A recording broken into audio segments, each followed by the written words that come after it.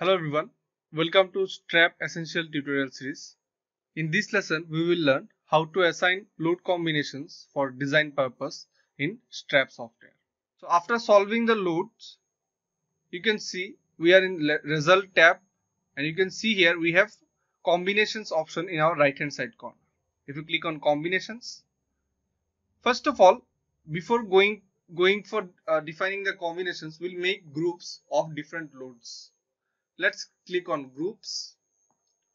And as add revise group click on any undefined group. And suppose I'll be creating a group for the dead load cases. So click on give a name as dead. Okay. I'll be taking all the dead loads in one single group. So we have the self weight and the dead load in our dead load group. So I have taken these two loads and click on OK now here we have two options. One is a different combination for each load in the group. If we are assigning different load cases in one single group, it is asking whether to create different load combinations for each single load case or to add all the loads in one single group.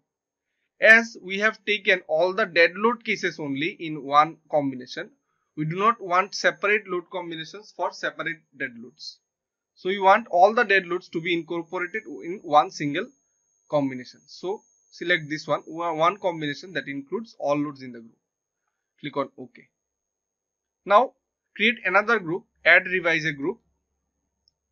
Click on any undefined group and let's make one earthquake load group. Click on OK and we'll be taking all the earthquake loads in one direction, one group. Now I have taken all the earthquake loads in one group and click on OK. Now in that case, we do not want all the earthquake loads to be taken in one single combination. We want to create different combinations for all the earthquake loads. That's why we have taken a different combination for each load in the group. Then click on OK. And now click on End. We can create groups for the wind load also. So click on Groups add revise group and click on W suppose wind click on OK and I'll be taking these two wind load cases in one group. Click on OK. Now here also I want different combinations for each load case. Click on OK. Click on end. Now if you have defined negative direction wind forces also then it is better to consider different groups for different particular direction. Now, if you go to define and revise, you will see we will have these groups here. One group is for wind, one group is for earthquake, one group is for dead. Except these load groups, we have all the loads here available in our combination list. But it will be very hard to consider all the loads one by one in our combination. That's why we have created groups through which we can easily consider all the loads available. So here you will be having dead load which we do not want because we have already created dead load. In the third load case we have live load. As we have only one particular live load case so we have not made any group for the live load. Now let's create the load combinations. Suppose I will be taking a dead load of 1.5 factor. So I'll be giving 1.5 factor to the dead load group and it will create one the dead load combination with all the dead loads available in our structure. Then I'll create 1.5 dead load plus live load combination.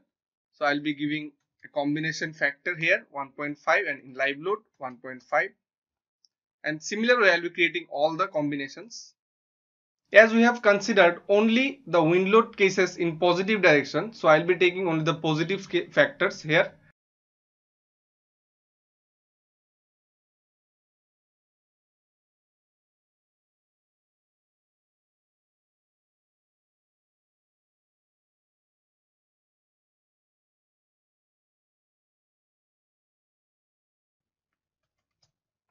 Here you can see I have completed the combinations here. Now what is the use of these groups? In case of dead load as we, we have taken all the dead loads in one single combination. So all these factors will be taken or will be multiplied with the summation of the dead loads which is available in our structure.